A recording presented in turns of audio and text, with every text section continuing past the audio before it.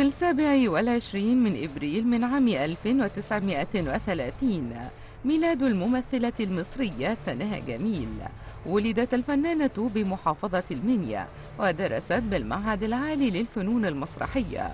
تميزت الفنانة بأدائها السهل الممتنع حيث اشتهرت بالتلقائية والبساطة في التعبير وقدمت عددا من أبرز أفلام السينما المصرية كأفلام الزوجة الثانية وفجر يوم جديد وبداية ونهاية وسواء الهانم وإضحك الصورة تطلع حلوة.